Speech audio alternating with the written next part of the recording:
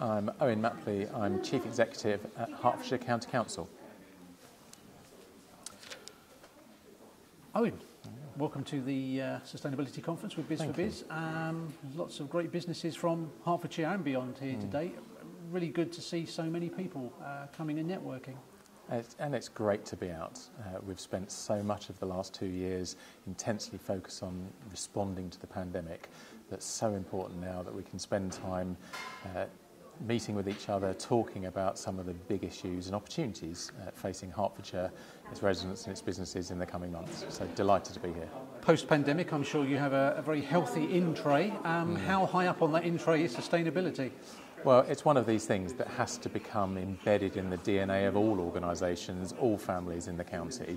It's, uh, it's been on the agenda for a while now, but uh, from COP26 to the need to move to renewal, renewable energy, there's so many reasons why we just need to boost it even further and make it central to all that we do. It's not quite a standing start, as you say. It's obviously been on the agenda for a wee while. But in Hertfordshire, what, what could we see uh, as businesses and also as, as individual residents? And what, what activities can we see going on that path? So I, I'm really pleased to see that uh, the council leader, Richard Roberts, Councillor Richard Roberts, has set uh, sustainability as one of his three uh, key strategic priorities uh, for the county.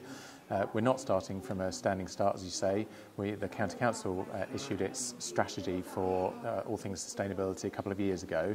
That's divided into three parts. Uh, what we can do to lead and be carbon zero in our own operations, what we can do to enable, looking at our own policies, our own strategies, uh, how we can bake it into that, and what we can do to inspire businesses, individuals, families across the county uh, to do more. So we've made some decent progress, but absolutely the time is to change gear and do, uh, do ever more.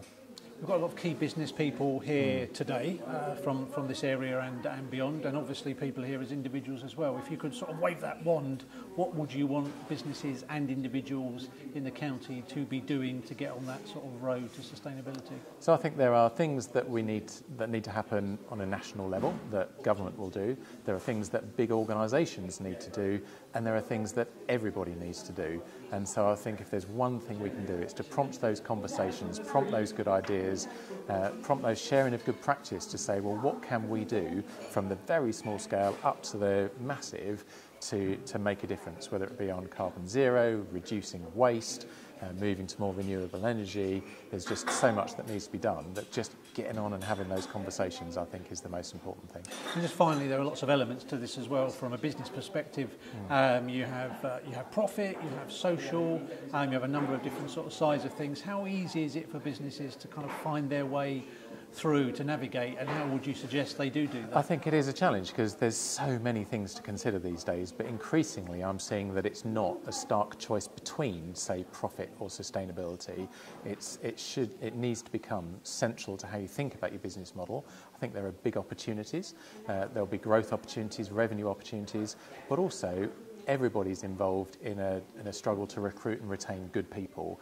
And increasingly, I think there'll be an expectation from employees to see, well, what is it you're doing in your company to really contribute to this agenda? So I think it just needs to be incorporated into all that we do, but I do see it as a big opportunity to, uh, to make it in not just a cost or, or a problem.